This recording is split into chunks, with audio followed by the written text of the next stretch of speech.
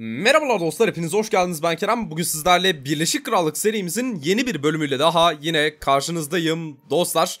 Biliyorsunuz Birleşik Krallık son geçtiğimiz bu 3 bölümde geride bıraktığımız 3 bölümde bu bölümle beraber toplam 3. bölümle yani gerçekten epey bir ilerleme kat etti abi. Bu gerçekleştirdiğimiz ilerleme, bu kısa sürede gerçekleştirdiğimiz ilerleme büyük ihtimalle bütün dünya devletlerinin ilgisini çekmiştir. Zira bir özet geçmek gerekirse sadece 1936'dan 1941'e kadar geçen bir süre içerisinde İran'ı aldık, Irak'ı aldık, Orta Doğu'yu epey bir karıştırdık. Şu anda Fransa ile beraber İtalyanları Afrika'dan atma yolunda hızla ilerliyoruz. Bize bağımsızlık ilan etme cüretinde bulunan Pasifik'teki bazı devletleri şu anda elimize geçirdik ve bunları sadece 5 yılda yaptık abi.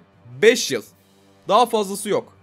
Yani sadece 5 yıl gibi bir sürede bu kadar çok yeniliği, bu kadar çok hamleyi gerçekleştirebilen bir devlet tabii ki pek çok ülkenin de dünya üzerinde şu anda ilgisini çekmiş vaziyette. Her ne kadar ilgilerini çeksek de bir tanesinde çıkıp bize kardeşim dur senin bunla, sen bunları yapamazsın sen bunları yaparsan karşında beni bulursun diyecek bir cesareti yok. O yüzden bizim de korkacak bir şeyimiz yok abi. Sadece geçen bölüm Amerika'dan ufak bir korkma olayı yaşadık. Hani kendilerine bir bir, bir atarlanma olayımız oldu ama 14,5 milyon ekonomilerini görünce abi çektik geri geldik abicim. Yani biz de hani biraz da mantığa hareket etme konusunda en azından doğru kararları arada verebiliyoruz. Şimdi hani şu adama da racon kesmezsin yani bu adama racon kesmeyeceksin. Yani adamın adamın duruşu yeter. Du duruşun yeter abicim canımsın öpüyorum. Seninle var ya çok güzel ilişkiler kuralım diyeceğim de Aa bak aynı devlette savaştayız. Ne kadar pozitif bir haber. İkimiz de İtalyanlara karşıyız. Mükemmel.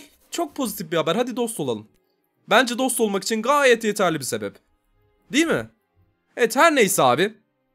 Artık tam daha fazla Amerika'yı yalamayı bırakalım da kendi işimize dönelim. Şu anda bizim ordularımız gördüğünüz üzere English Channel'a doğru geri dönüyorlar. Neden English Channel'a dönüyorlar? Çünkü İtalyanların buralardan ordu geçirip Londra, Brighton, ne bileyim Southampton gibi önemli limanlarımıza, Cambridge gibi önemli limanlarımıza kesinlikle çıkarma atmalarını engellememiz gerekiyor. Engelleyemediğimiz takdirde maalesef ekonomimiz çıkacak olan İtalyan ordularının yapacağı yağmalarla epey bir güç kaybedecek, yara alacak. Buna izin vermeyeceğiz. Aynı zamanda Afrika'da da gördüğünüz üzere İtalyanları durduruyoruz ki hatta geçen bölümde de söylemiştik. Bu bölümün e, bu savaşın aslında bizim açımızdan faydaları da var. Yani geçen bölüm söylediğimi tekrarlayacağım. Bizim misyonlarımız arasında sizler de hatırlayacaksınız ki İtalyanları Portekizleri, Belçikalıları yani Birleşik Krallık ve Fransızlar hariç bütün sömürgeci devletleri Afrika'dan atma gibi planlarımız da vardı. Portekiz, Belçika ve İtalya devletleri bu hedefimizin kilit noktası olan devletler. Bu sebeple İtalya'nın bize savaş ilan etmesi sadece bu açıdan iyi oldu diyebiliriz abi. Libya topraklarını belki Fransızlara bırakma ihtimalim var ama Etiyopya ve Somali kesinlikle bize gelecek. Hani oranın başka bir çıkar yolu Yok abicim. Her neyse artık yavaştan dilerseniz turlarımızı atlamaya başlayalım dostlar. Halen maalesef Irak topraklarındaki asimilasyon işlemlerimizi tamamlamış değiliz. O kadar çok üst üste savaş ilanları yedik ki gerçekten. Hani dünyadaki bütün devletler sanki bir olmuş da İngilizleri devirmeye çalışıyor gibi. Ama iş böyle olsa bile anlarım. Hani bu kadar hızlı ilerleyen ve bu kadar güçlü olan bir devleti devirmeye çalışmak açıkçası hani nasıl desem ilginç karşılanacak bir durum değil. Gayet normal abi ben anlarım yani şahsen. Çünkü ben de olsam yani ben de İngilizlere karşı şu anda aynısını yapmaya çalışırdım. Bu kadar hızlı ilerleyen, durdurulamayacak bir güç haline giden hızlı bir şekilde bir devleti durdurmak kesinlikle her devletin ortak amacıdır. Bu yüzden gayet normal karşılıyoruz biz İngilizler olarak bu durumu. Evet devam edelim. Etiyopya topraklarındaki ilerleyişlerimiz özellikle son derece önemli. Her ne kadar İtalyanlar Afrika'da birazcık hafif almış olsak da kendilerinin Afrika'daki askeri birikimi açıkçası son derece iyi. Yani güzel orduları var. İyi sayıda orduları var. He ama karşılarında da İngilizler var orası ayrı. Hani bir şey yapamazlar diye tahmin ediyorum. Yine de tedbiri elden bırakmamak, temkinli hareket etmek lazım. Karşımızdaki devlette her ne olursa olsun İtalyanlar Avrupa'nın hani köklü devletlerinden Roma İmparatorluğundan tutun hani Batı Roma'dır, İtalya'dır baya gerçekten köklü bir devlet. O sebeple karşımızdaki devleti kesinlikle hafife almıyoruz. Devam edelim. Evet güzel bazı bölgelerde ilerleyişlerimizi sürdürebilmeyi başarıyoruz. Fakat İtalyanların da gerçekten güzel sayıda ordularla savunma yaptığını, bizim topraklarımızda gerçekten yine yeterli sayıda ordularla işgal ettiğini söylemek, onların da hakkını vermek gerek. Güzel sayıda ordularla girmişler. Ama bunu yani iyi yönetememişler abicim. Yani güzel yönetememişler. Çünkü o ellerindeki güzel sayıdaki orduları bütün cephelere eşit şekilde dağıtamamışlar. Ve bir cephede açık kalırken bir cepheyi tamamen kapatıyorlar. Bir cephe tamamen kapanırken diğeri açık kalıyor. Yani böyle sorunlar yani İtalya gibi gerçekten yıllar yıllar geçse de bitmeyecek bir devlet aklı olan bir devlete yakışmıyor. Hani çok uzun senelerdir gerçekten İtalya devleti e, o soydan gelen bir hanedanla, o soydan gelen insanlarla yönetiliyor. Ve gerçekten bu kadar tecrübe adeta çöpe atılmış gibi savaş içerisinde darmadağınık bir durumları var. Yani bu hoşuma gitmedi. Tabii şu an İtalya'yı değerlendirmek bana düşmez. Ne kadar düzensiz olurlarsa benim için o kadar iyi. Evet devam edelim ilerlemeye. Libya topraklarına da girebiliyorsak girelim abi. Hani gerekirse bir ee, nasıl desem cömertlik yapar toprakları Fransa'ya veririz. Bizim için çok da sıkıntı değil yani. Şöyle bizim ordular bu arada şu anda neredeler? English Channel'a ne zaman ulaşacaklar? Onu da bir kontrol etmek istiyorum. Şöyle bir bakıyorum, bakıyorum, bakıyorum. Cidden daha oralarda mısın ya? Biraz gelmiş olman lazım. Bir dakika, ordularımı bulamadım lan. Ordularım nerede oğlum benim? Harbiden ordularımı bulamıyorum. Bir dakika takip edeceğim koçum seni. Tamam buradan geliyorsun. Evet, evet, evet. Şuradan mı geliyor? Hayır buradan da it. Tamam, tamam, tamam. Oğlum bulacağım lan seni bekle lan. Kafama koydum bulacağım da. Bizim buradan gelen bir ordumuz... Beyler bulamadım tamam boş verin ya. Vallahi kafayı yiyeceğim bulamadım. Devam et. Evet bak burayı alamadık mesela. Burayı da alamadık. Bak görüyor musunuz hani bazı yerlerde güçlü savunmaları var. Ama mesela şu iki toprağı savunuyorsa diğer bütün topraklarda boştur abi. Az önce bahsettiğim şey buydu. Ee, İtalyanların yanlış yaptığını düşündüğüm şey buydu. Yani ordularını iyi dizememişler. Güzel bir şekilde denge oturtamamışlar. Ha, bunu en iyi yapan da biziz bence abi. Hani o kadar dengeli şekilde orduları yerleştiriyoruz ve açık kalırsa ya da fazla olursa gerekirse takviye yapıyoruz ki diğer cephelerden. Hani herhalde şu savaş düz düzeni... Hey maşallah. Hey maşallah. Ama sorun yok. Sorun yok. 132 bin ordusu var değil mi? Sorun mu? Değil abicim ya. Değil ya 132 bin ordu nedir bizim için? Hani şu anda videoyu izleyip de aha şimdi sıçtı diyenler varsa hiç yani hiç gerek yok öyle bir düşünceye. Çünkü yeneceğiz abicim hiç sorun yok. 132 bin ordu öyle mi? Hemen hazırlayayım kardeşim karşısına çıkacak olan orduyu. 132 binin üzerinde bir ordu. Ha, bizim için çocuk oyuncağı. Sadece sömürgemizde bulunan iki tane topraktan net çıkarız yani biz onu. Siz dert etmeyin kardeşim. Siz yeter ki bize karşı mertçe güzelce savaşın abicim şu meydanda. Kaçmayın. Gerisini biz hallederiz yani siz merak etmeyin. Evet, güzel. Şuradan da hatta birazcık asker alma işlemi gerçekleştirebiliriz. Bu bölgelerde son zamanlarda gerçekleştirdiğimiz yoğun ordu basım işlemleri maalesef birazcık daha halkımızı bu bölgedeki halkımız da sayılmaz hani sömürge topraklarında yaşayan milletleri diyelim birazcık zor duruma sokuyor. E yapacak da bir şey yok. Hani bo boşuna sömürge değilsiniz kardeşim. Hani biz oraları boşuna almadık. Bir, bir işe yarayın yani değil mi? Boşuna mı sömürgemisiniz siz? Size boşuna mı bu sömürgemiz olma onurunu bahşettik yani değil mi? Koskoca Birleşik Krallığın sömürgesi olma gibi bir onura bahşedilmişsiniz. Boşuna değil bunlar tabii ki karşılığı olacak. Evet devam edelim. Umarım orayı atlamamışızdır ya. Atlamışız abi. Her neyse. Tamam bu tarafları halledelim. Gerisi zaten kolay halledilecek gibime geliyor.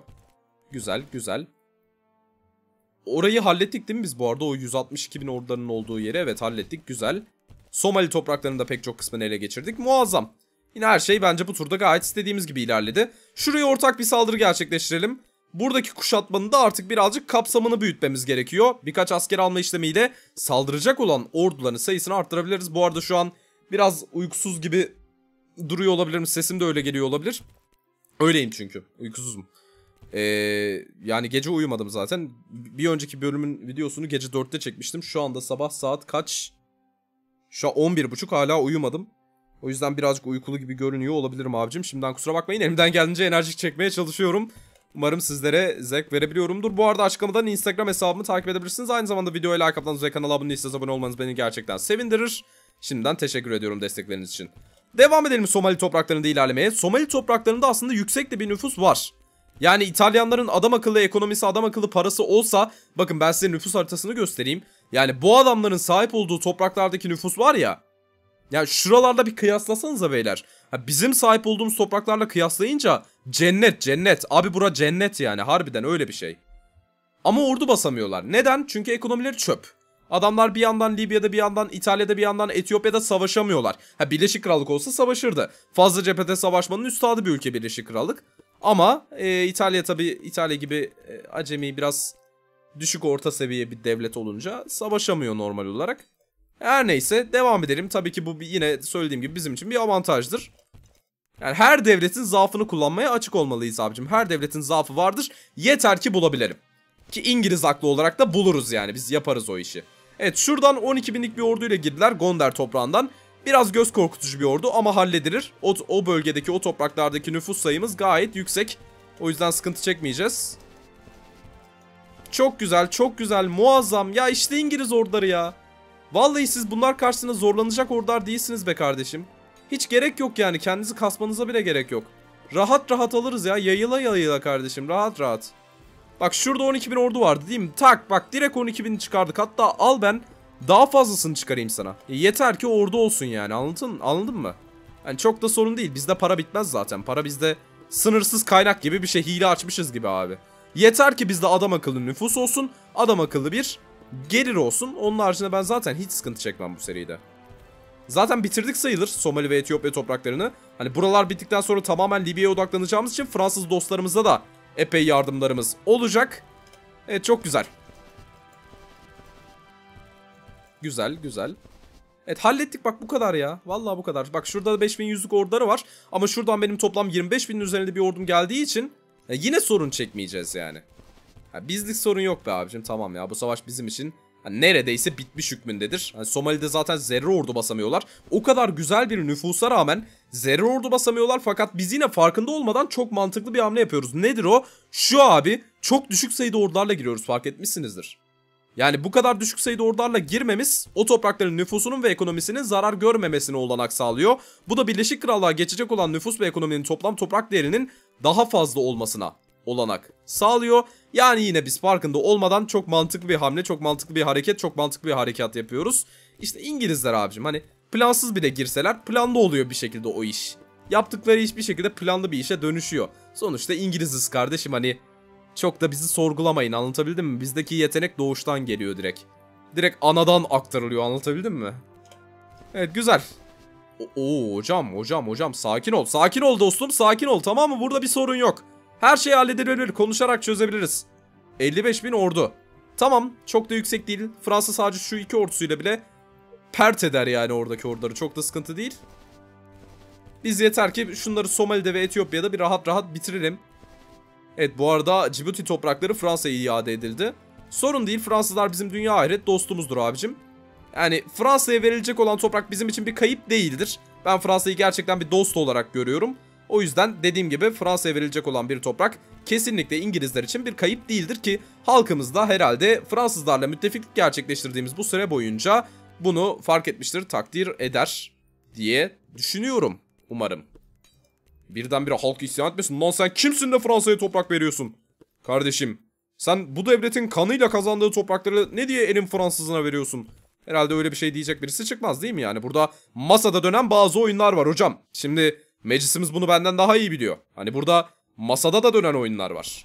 Biz masadaki oyunlar için Fransızları yanımızda tutuyor. Onlara gerekli ayrıcalıkları sağlamaya çalışıyoruz ki ileride masada Fransızlar her zaman bizim yanımızda olsunlar.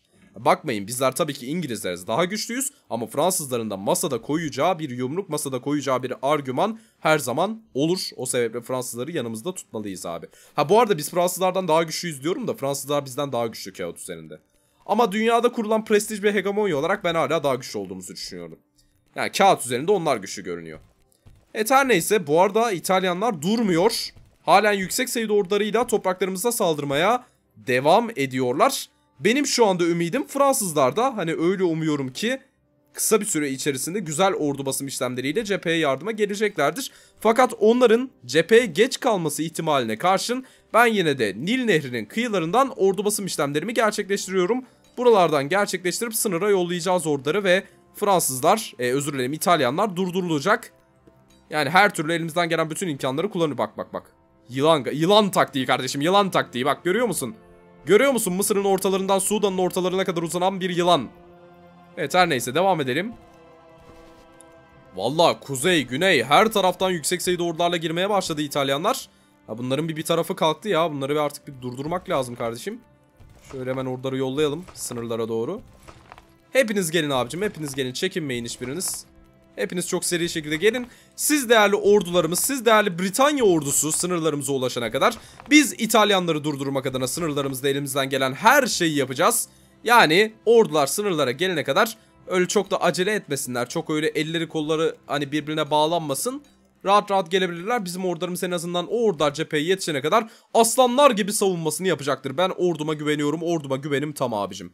Devam edelim. Evet bu arada Somali ve Etiyopya tarafını an itibariyle tamamen bitirdik. Bizim için gerçekten milat değerinde bir haber. Böylece cephe sayısı artık teke düşmüş oldu. Sonuçta ben Avrupa'daki savaşta fazla aktif bir rol oynamıyorum. Avrupa'ya fazla ordu yollamak istemem.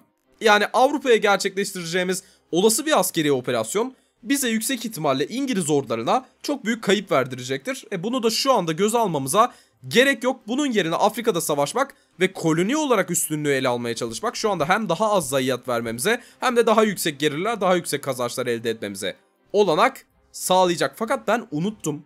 Bizim asıl savaşımız Almanlarla bu arada. Bak Fransızlar şu anda bitiyor mesela. Almanlar şu anda bitiriyor Fransızları. benim o, o English Channel'a gelen orada hala ortalarda yok. Yani bir şeyler yapmaya çalışacağız artık. Şu anda bilmiyorum. Şu anda durum benim için kötü olmasa da maalesef kadim dostumuz Fransa için harbi yani çok boktan bir durumda. Baya kötü bir durumda. düzeltmemiz lazım yani bunu. Bunu bizim düzeltmemiz lazım. Yani bir şekilde Fransızlara yardım etmemiz gerekiyor. Evet devam edelim. Sonunda ordularımız sınırlara teşkil ettiler gibi görünüyor. Bakalım. Birazcık daha bekleyelim. Hala tam olarak ulaşmamışlar sınırlara. Şu kuzeydeki ordu basım işlemlerimizi de hatta birazcık arttırabiliriz abi. Para mı bitti? Yok para bitmemiş. Güzel. Ee, devam edelim. Orduların gelmesine gerçekten çok az kaldı. Sadece birkaç ordu daha gelecek. Sonrasında aktif olarak yeniden saldırılarımıza geçiş yapabiliriz artık. Hadi oğlum biraz daha dayanın. Fransa'cığım şurayı kapatırsan benim için çok güzel bir iş yapmış olursun. Aferin sana Fransa koçumsun. Adamımsın kardeşim dediğimi tak diye yaptı helal olsun kral. Evet şimdi gerideki ordular hemen ileriye gelsinler abicim. Ne kadar ordu varsa. Topyekün bir şekilde bir Libya seferine çıkıyoruz. Fransız ordularıyla ortaklaşa bir sefer şeklinde.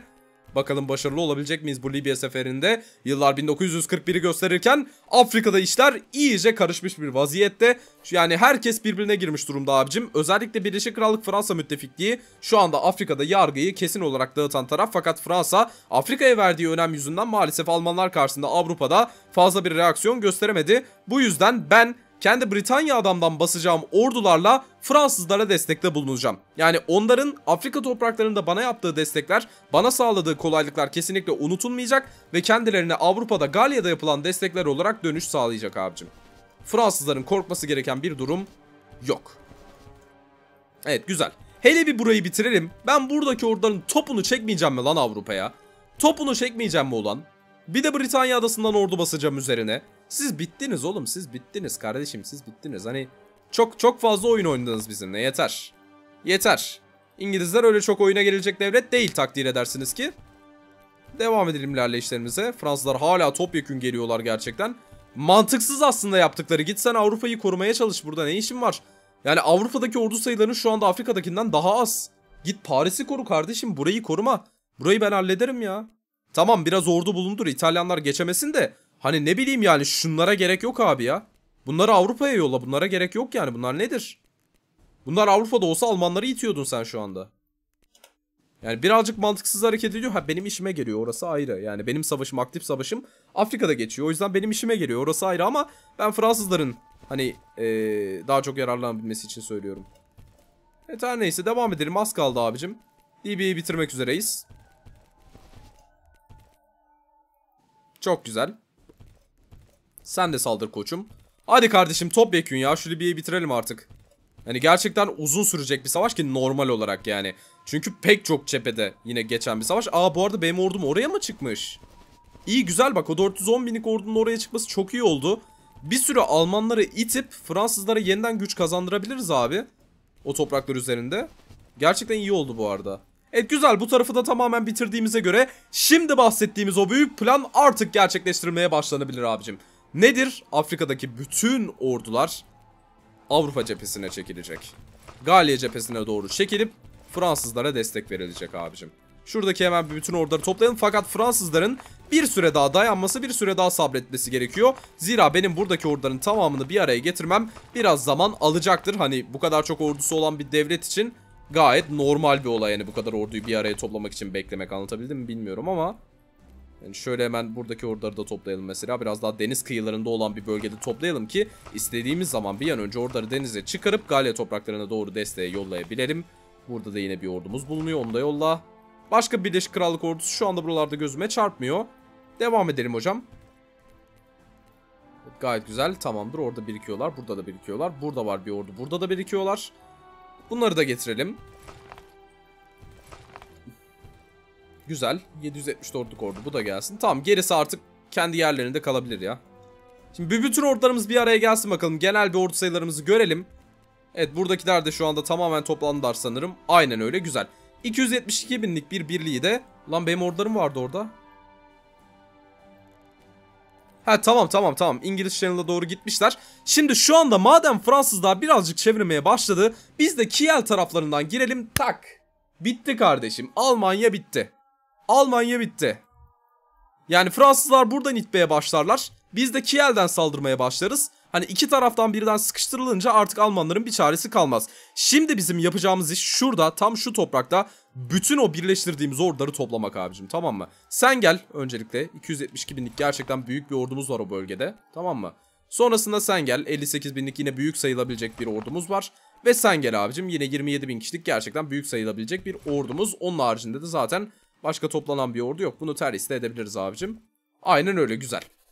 Şimdi ordularımızın toplanmasını bekleyeceğiz sadece. Bir yandan da tabii ki şuralardan ordu basım işlemleri gerçekleştireceğiz ama video artık 22 dakikaya gelmiş. Bu bahsettiğim planlar bir dahaki bölümde gerçekleştirilecek. Hiç kimse merak etmesin. Biz dostumuzu Fransa'yı yarı yolda bırakmayacağız ve gereken hamleleri gerçekleştirip Alman keferelerine gerekli dersi vereceğiz. İngilizler neymiş bir görsünler abicim.